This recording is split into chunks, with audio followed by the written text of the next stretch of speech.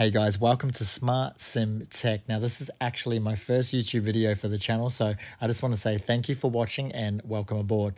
So here we've got my home cockpit. Uh, I'm currently running Microsoft Flight Simulator 2020, and part of the reason why I decided to start this channel today is because I've had so many different questions on other social media platforms on how I actually recreated this, what hardware am I using, where did I get my screens from, and the questions went on. So moving forward for this channel, I want to try and bring you guys as much information as I can uh, based off the latest technology that's being released to help us with our home flight simulators. So, uh, everything from VR to gaming PCs, screen resolution on monitors. Uh, we're going to trial and test different products. Uh, if you guys are into flight simulation and simulation in general as much as I am, please subscribe. Uh, if you have any questions on the content that's been shown in this video so far, hit me in the comments below. We'll be looking a lot closer at my own flight simulator in future videos also.